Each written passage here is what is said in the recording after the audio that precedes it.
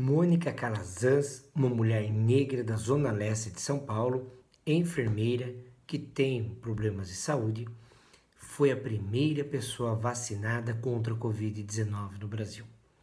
Parabéns a ela, representativo. Agora, o que me assusta é o número de pessoas duvidando da vacina. As redes sociais são uma fonte inesgotável de bobagens muitas vezes. Humberto Eco, salvo engano, disse que, ou Domênico De Masi, não me recordo, que a internet abriu as portas para muita gente boa, mas eu voz aos ignorantes. Não tem vacina na seringa, foi um teatro e tantas outras bobagens. Aplaudamos o início da vacinação, porque estava bem atrasado.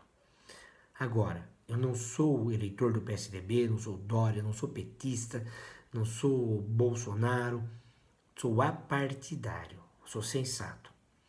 Se a gente imaginar ganho político, hoje o Dória deu uma invertida danada no Bolsonaro.